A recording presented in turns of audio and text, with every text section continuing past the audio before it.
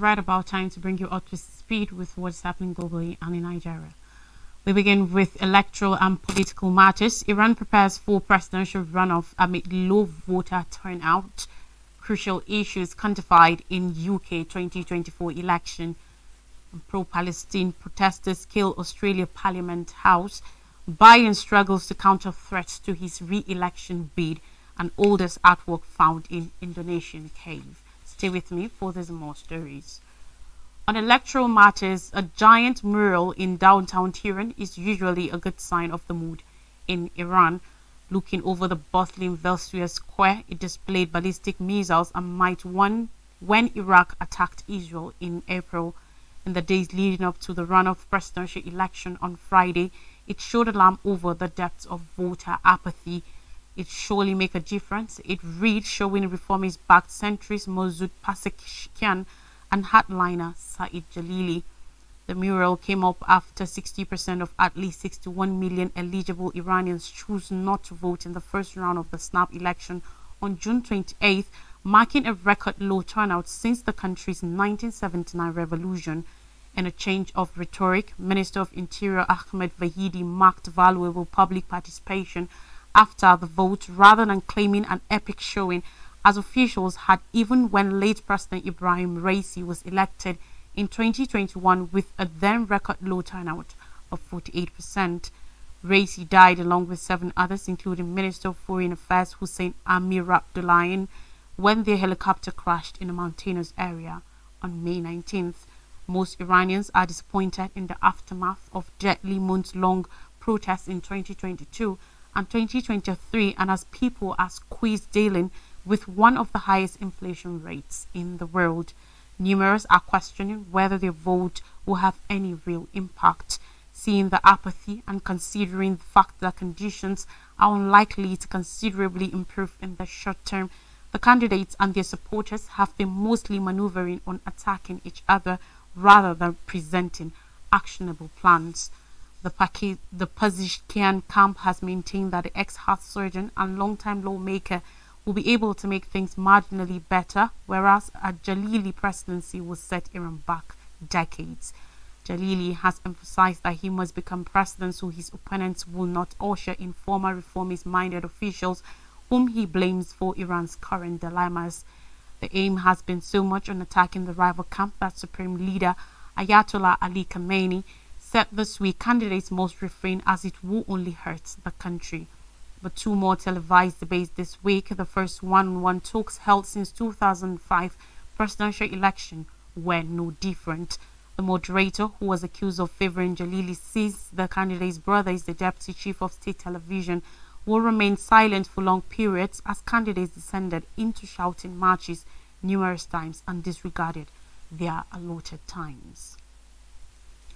Still ticking with electoral matters today, people across the United Kingdom are going to the polls at a time when the country is facing major challenges from the state of healthcare to the cost of living. The incumbent Conservative Party led by Prime Minister Rishi Sunak is expected to lose, creating the way for the country's first Labour government in 14 years. According to Ipsos, a multinational market research and consulting firm, the top five issues respondents identified are healthcare and the National Health Service (NHS) 41%, the economy 33%, immigration 30%, inflation 29%, and housing 17%. Healthcare ranks as the foremost issue confronting the UK today, with 4 in 10 respondents rating it as one of the most important, according to Ipsos. Both the Conservatives, casually known as the Tories, and Labour have said that dropping wait times in the country's publicly funded NHS is one of their major priorities. The past 15 years have been have seen the worst income growth in the United Kingdom for generations, according to the Institute for Fiscal Studies, IFS. Tom Waters, an associate director of the IFS, said in late May that it has been slow growth for essentially everyone, rich and poor, old and young. This means that even while income, income inequality has been stable, progress on reducing absolute poverty has been painfully slow. long-term net migration, which measures the number of people moving to the United Kingdom minus those leaving, has reached record levels over the past few years. By the end of 2023, long-term net migration to the UK was approximately 685,000 people, closely three times as high as a decade ago. Of those people, Indian nationals topped the list at 250,000 arriving in the United Kingdom to stay long term. This was followed by Nigerians 141,000, Chinese 90,000, Pakistanis 83,000 and Zimbabweans 36,000.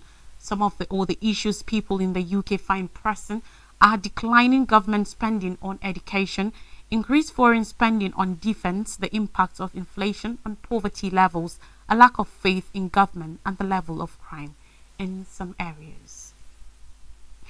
Away from electoral matters now on Israel-Gaza war, pro-Palestine protesters have climbed the roof of Australia's Parliament House in Canberra and unfurled many banners, one of them reading, From the river to the sea, Palestine will be free.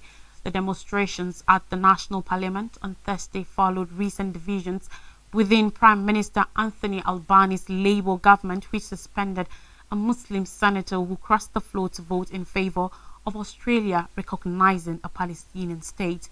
Four people from the renegade activist group dressed in a dark clothing stood on the roof of a building for about an hour rolling out several large black and white banners, including one reading, No Peace on Stolen Land. One of the protesters gave a speech using a megaphone accusing the Israeli government of war crimes in Gaza with the support of the United States and the Australian government of being complicit in the alleged abuses. A handful of police and security advised people not to walk directly under the protest at the Marco entrance to the building, while more were seen on the roof attempting to remove the group. The fiercest war in Gaza began when Palestinian fighters from Hamas burst into southern Israel on October 7th, killing some 1,200 people and taking about 250 others captive. Israel's war on the besieged Palestinian territory has killed nearly 38,000 people, forcibly displaced most of the population, multiple times and laid waste to the densely populated enclave. South Africa has lodged a petition at the International Court of Justice ICJ accusing Israel of committing genocide against Palestinians in Gaza while a United Nations inquiry last month found that both Israel and Hamas committed war crimes in the early stages of the Gaza war. The inquiry also said that Israel's actions constituted crimes against humanity because of the immense civilian losses. Since the war erupted, Australia has been the site of many pro-Palestinian protests, including weekly demonstrations in major cities and a months-long occupation of university campuses. On Monday, the Labour Party indefinitely suspended Senator Fatima Payman after she voted in favour of a parliamentary motion backing Palestine, Palestinian statehood. Payman said she had been exiled after supporting the motion put forward by the Greens Party in defiance of government policy. Australia does not presently recognize Palestinian statehood, although Foreign Minister Penny Wong said in May it could do so before a formal peace process between Israel and Palestinian Authority is complete. Back to electoral matters on 2024 election in the United States, no president has ever required a public holiday like Joe Biden needs July 4th. Biden is fighting frantically to save his political career by rising deviance, but is in danger of being swamped by a rising tide against his um, him rather as more Democrats express doubts that he can beat Donald Trump after a disastrous debate performance. The president will assemble family members who will like who will be his will be key to his future deliberations on his re-election campaign at the White House for Independence Day in sore need of a slow news that day will allow him to regroup for potentially the most critical 48 hours of his political career. As speculation burst on Wednesday that he may be considering pulling out of the race, Biden unequivocally declared that he was in it to win. He then met 20 Democratic governors at the White House to try to prove he has the energy and acuity to win and lead for four more years. On Friday, Biden will sit for an interview with ABC News that's now shaping up as an even greater challenge than the CNN debate, given his need to put in a nimble and forceful corrective performance. Biden's swing state campaign stops will, like his every single public appearance now, be parsed for any slip up or sign of vulnerability that supports the impression that Biden created for himself on the debate stage of a diminished commander in chief. But the hard margin reality for the president is that the assurances, shifting explanations, and spin that his political aides have come up with so far are not working because there may be no answer to his predicament. The image of an incoherent, weak, and bustling president was set on the minds of 50 million viewers a week ago and even a far more competent damage control effort than the White House and the Biden campaign have mounted so far we have struggled to erase that impression. Efforts to explain his fights in Atlanta are only refocusing attention on the car problem. Supermajorities of voters doubt he's fit enough to serve a new term that will end when he is 86 years of age. On Wednesday, for instance, the White House picked up Biden's line that he was jet lagged after two trips to Europe in early June, given that the president had been back on U.S. soil for over a week at the time of the debate, this only begged fresh questions over whether he's up to the enormous demands of the presidency, which frequently needs extensive travels. The idea that delayed jet lag in combination with the cold that aides said he also had could cause Biden to trail off in the middle of sentences and fail to make a coherent case on issues basic to his campaign did nothing to arrest his political slide. On history, scientists have found what they believe to be the world's oldest artwork portraying three people assembled around a large red pig in a cave in the Indonesian island of Sulawesi. Research published on Wednesday shows the painting was created some 51,200 years ago. Maxime Aubert, an archaeologist at Australia's Griffith University and co-author of a new study published in Nature, said according to report that this is the oldest evidence of storytelling. Aubert was part of the team that identified the former record holder, a picture of a warty pig thought to be at least 45,500 years old. The newest discovery found inside the Leang Karampuang cave in the Maros Pangkep region of South Sulawesi is in poor condition. It shows three people around a wild pig measuring 92 centimeters by 38 centimeters that's 36 inches by 15 inches in a single shade of dark red pigment. There are other images of pigs in the cave as well. The juxtaposition of the figures, how they are positioned about each other and how they are interacting were deliberate and it conveys an unmistakable sense of action. Something is happening between these figures. A story is being told. We don't know what that story was, said Griffith University archaeologist Adam Brumm another of the study's authors. Aubert speculated that the paintings were probably made by the first group of humans who moved through Southeast Asia before arriving in Australia about 65,000 years ago. Earlier, the first narrative art was thought to have emerged in Europe. The date given for the Indonesian cave art is quite provocative because it is so much older than what has been found elsewhere, including in Europe, said Chris Stringer, an anthropologist at London's Natural History Museum. Stringer, who was not involved in the research, said the experienced team's findings looked some looked sound but required to be confirmed by further dating. On more stories, Putin Xi praised China-Russia ties at Security Summit. On Wednesday, Russia's Vladimir Putin and China's Xi Jinping lauded their country's growing alignment as they met at the gathering of a Eurasian security bloc promoted by both leaders as a counterbalance to Western powers. Putin said Russia-China ties are going through the best period in their history and should be considered a stabilizing force for the world in opening remarks ahead of a bilateral meeting with Xi on the sidelines of Shanghai Cooperation Organization SCO's annual Leaders Summit in Kazakhstan. The Russian leader also underscored Moscow and Beijing's roles at the cradle of the SCO's founding in 2001 rather, as the two powers drive a transformation of the bloc from a regional security club with an emphasis on Central Asia to a geopolitical counterweight to Western institutions led by the United States and its allies. Belarus, a staunch Russian ally that assisted Moscow launch its 2022 invasion of Ukraine, was formally admitted by the SCO on Thursday as its 10th member, reports from China said. The Eastern European country is the newest authoritarian state to join the SCO after Iran became a full member last year. The bloc underwent its first expansion in 2017 to welcome India and Pakistan. The meeting marks the two leaders' second face-to-face talks in just two months following Putin's visit to Beijing in May and comes shortly after the Russian president hit a landmark defense pact with North Korea.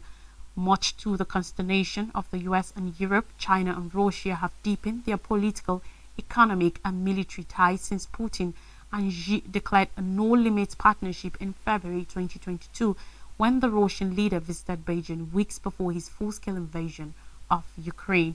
China has exceeded the European Union to become Russia's top trade partner, offering a vital lifeline to its heavily consumption economy the two nuclear-armed neighbors have also continued to hold joint military drills, including with Iran. Meanwhile, the US has accused China of providing Russia with dual-use goods that boost the warring nation's military-industrial complex as it attacks Ukraine, which Beijing denies. In his opening remarks on Wednesday, Xi told Putin that China and Russia should keep upholding the original aspiration of their lasting friendship in the face of an international situation fraught with turbulence and changes.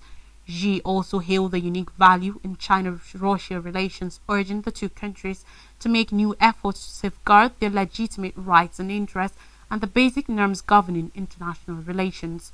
On Wednesday, Xi said China supported Russia's role as BRICS chair this year in uniting the global south, stopping a new Cold War and opposing hegemonism, according to reports. Talking climate crisis, Hurricane Beryl hits Jamaica's south coast. A powerful hurricane has hit Jamaica with heavy winds and rain destroying buildings and felling trees on the Caribbean island. Beryl, a Category 4 storm with winds of up to 130 mph, struck the island's southern coast. At least seven people have been killed so far as the storm sweeps through the Caribbean. A hurricane warning is in effect in Jamaica where the authorities have enforced a curfew from 6 o'clock to 18 o'clock local time. Prime Minister Andrew Holness earlier urged people to take this hurricane seriously. In Grenada, where it first made landfall on Monday, three people died, one in St. Vincent and the Grenadines and another three in northern Venezuela, which was hit by strong winds and flooding. Around 90% of homes were destroyed extremely damaged on Union Island, which is part of St. Vincent and the Grenadines. Parts of Jamaica earlier experienced disruption to power and electricity supplies, with the Jamaican Public Service Company JPS saying it was forced to pause restoration of power lines in some locations for the safety of the workers. Dr. Michael Brennan, the NHC's director, said Jamaica will experience devastating hurricane force winds Rainfall in some parts of the country could hit 12 inches 30 centimeters, potentially leading to flooding and mudslides. The director explained why life-threatening storm surges as high as 9 feet 2.7 meters above tide level are also expected. Jamaica's Information Minister Dana Morris Dixon said the island had 900 shelters to house people who needed to leave their homes. A government delegation was hit by a falling tree while inspecting damage President Nicolas Maduro said Vice President Delcy Rodriguez were among those wounded. In Mexico, where Hurricane Beryl is expected in the coming days, residents in Cancun have rushed to supermarkets to stock up supplies. Some have encountered empty shelves. In the shelves of Africa, Kenyan police patrol streets of Haitian capital. On Wednesday, the streets of Port-au-Prince were told by Kenyan police officers equipped with body armor and automatic weapons. This group, the initial United Nations supported foreign police unit in Haiti, arrived in the country in June, responding to a plea for aid to fight rising gang violence.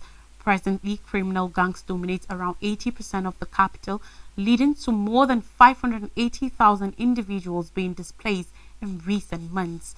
The officers stationed close to the international airport drew the attention of onlookers but encountered no confrontations with gangs. Haiti's Prime Minister Gary Conille stated gratitude for the multinational security support mission, stressing the urgent need to address the violence perpetrated by armed groups. On June 25th, a contingent of hundreds of Kenyan police officers landed in Haiti to participate in the multinational security support mission aimed at battling armed criminal gangs and restoring peace in the country. They will be soon reinforced by police and military personnel from the Bahamas, Bangladesh, Barbados, Benin, Chad, and Jamaica, bringing a total number of personnel to 2,500. Maria Isabel Salvador, head of the United Nations Integrated Office in Haiti, stressed the importance of this deployment in line with Security Council Resolution 2699, offering a glimmer of hope for the people of Haiti. In part two, I'll bring you stories from Nigeria just after this break. Please don't go anywhere.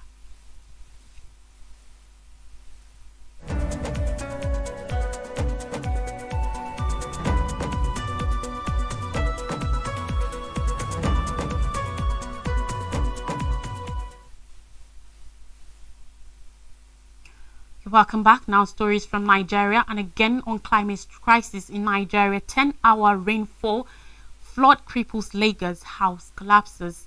On Wednesday, in many parts of Lagos and Ogun states, businesses and commercial activities were grounded following a 10 hour downpour.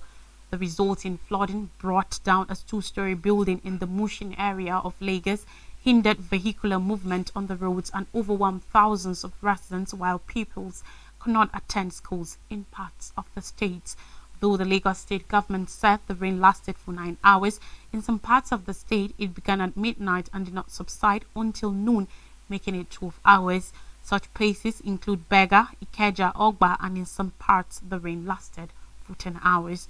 According to reports, affected flooded areas such as Iyana Oworo, Agege, Ijegun, Isheri, Oshun, Bagbada and Lagos Island in Lagos State, roads and houses were flooded as a result of long hours of downpour. Other flooded places in Lagos include Eredo, Bojije, Ekpe, Sango Tedo, Ibeju-Lekki, Awoyaya, Labora, and Ibojun. More places include Atan Ota, Oseshe, Ifo Sangota, and Ijebuode in Ogun State, and major roads were submerged, making them impassable and leaving passengers stranded. The permanent secretary of Lagos State Emergency Management Authority, Olufemi Oke Osanyintolu, stated that the seven victims were rescued alive from the collapsed structure. He attributed the collapse of newly constructed building to the inclement weather. Due to the unpredictable weather conditions, the LASEMA boss also urged Lagos residents to remain calm and avoid any non-essential travel. And finally, on the news on health, on education rather, ASUU braces as non-academic staff strike begins today.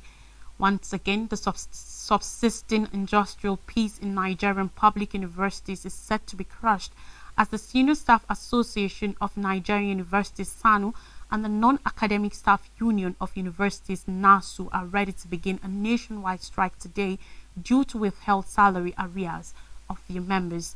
On June 20th, 2024, the Joint Action Committee JAC of NASU and SSANU had sent a letter to the Minister of Education, Professor Tahir Mamman, informing him that the members will begin a work boycott in two weeks if their demands were not met.